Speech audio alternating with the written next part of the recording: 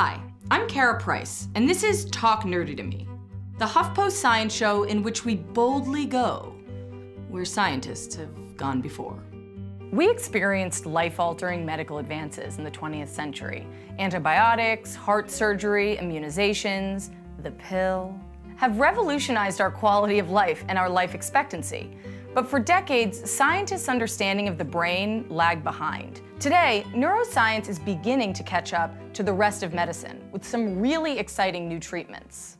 What is a neurosurgeon? Neurosurgeon is uh, somebody who does surgeries on the nervous system, whether it's the brain or the nerves or the spine or spinal cord, to treat tumors of the brain, treat stroke, spinal conditions causing chronic pain. In my case, I'm also a functional neurosurgeon. Treatments for patients with Parkinson's disease or chronic pain, behavioral psychiatric disorders. What interventions can you offer your patients? One of the areas is, for example, brain pacemakers, deep brain stimulation systems. So these are tiny wires that go into the brain, into specific parts of the brain causing a tremor or causing Parkinson's or other movement problems. The pacemakers are calming the part of the brain that is causing the abnormal electrical activity. So as a result, when the pacemaker is turned on, you go from severe shaking to a steady hand. So if you have a movement problem, you're able to function better with the pacemaker. And that's a part of a broad field called neuromodulation.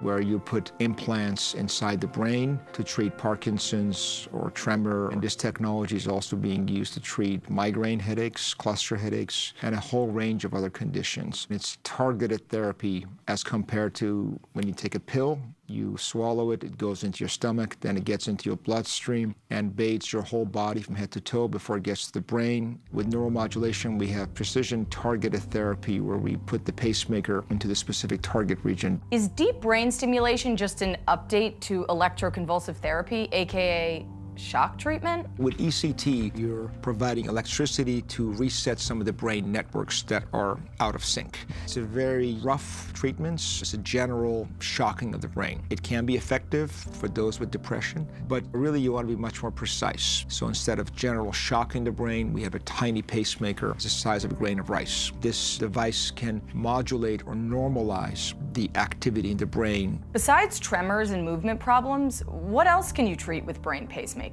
For about 16 years, we've been looking at treatments of patients with severe obsessive compulsive disorder, OCD, which affects over 7 million people in the US. These are patients who have obsessive thoughts, fear of contamination, washing, checking, putting things in order. They have compulsions linked to their obsessions. Four. Five. There's parts of the brain involved in anxiety. It is electrically malfunctioning, so effectively causing a short circuit in the brain, causing the obsessive compulsive disorder. With this pacemaker, you're able to reduce the anxiety so the individuals are able to function better. They can be used for treating epilepsy, for example. What's epilepsy but it's an electrical storm in the brain? This is also being investigated for individuals with severe depression, major depressive disorder that affects over 18 million people in the US. It's also being looked at for addictions, alcohol addiction, drug addiction, and also looking at eating disorders because eating disorders are addictions. With addictions or anxieties, this is a brain condition. So the physiology of the brain is off as neuroscience advances, we're able to precisely identify different parts of the brain that are not functioning normally, causing the condition. In the case of addictions, with brain imaging, you see abnormal activity in the part of the brain we call nucleus accumbens. It's the reward motivation center in the brain. In certain individuals, whether it's because of genetic predisposition or environmental changes of the brain, it becomes electrically malfunctioning, causing you to be seeking drugs or seeking rewards, and the network becomes imbalanced. With talk therapy or some medications, you want to regulate those parts of the brain, but if they don't get better, then using a brain pacemaker may be an option. This technology has been in use for almost 20 years now. How many patients have been helped by brain pacemakers so far? Right now, more than 130,000 people across the world have brain pacemakers. So imagine 30 years ago, you had heart pacemakers being implanted, and now you have millions who have heart pacemakers. That's revolutionized the treatment of heart conditions. Brain pacemaker technology has been 30 years behind. Who is an appropriate candidate for a brain pacemaker? It is surgery, so it's reserved for those who have uh, tried medications or talk therapy or other approaches. And despite that, their quality of life and their functioning is affected and they're suffering. At that point, this can become an option for them. Does the brain pacemaker send out a constant pulse or is it actually detecting and responding to the electrical signals that the brain is producing in real time? The current systems that we have for Parkinson's or tremor that we do routinely, it's constant on, so when you turn it off, the tremor comes back. But now there are new generation systems, systems that are closed loop.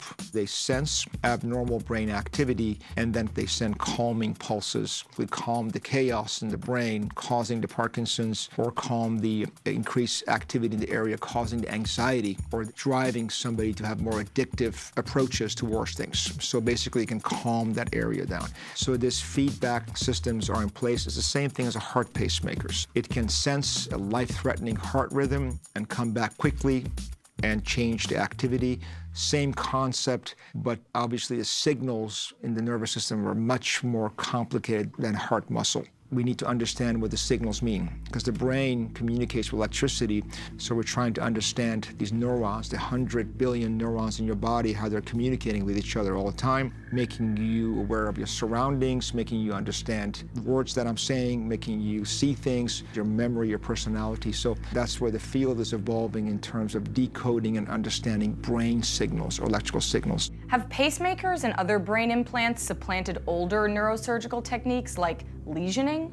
So lesioning, we used to put probes into the brain and burn the brain, or we used to freeze the brain. Those really become minimized because why damage a brain if you can have a reversible, adjustable system? One of the areas where I think there's hope in the future is high-intensity focused ultrasound technology. These are more than 1,000 ultrasound probes that send tiny ultrasound waves deep into the brain, into a part of the brain that is electrically malfunctioning to create an ultrasound lesion. That is non-surgical, so the patient lies in an MRI and a hat comes in over their head with 1,024 ultrasound probes, no incisions, so it's not surgery. At the same time, you're in the MRI machine and you're recording the brain activity, so it's live ultrasound, real-time ultrasound lesioning. So you can see it going on live and you can examine the patient. Because what's the problem with lesioning? It's irreversible.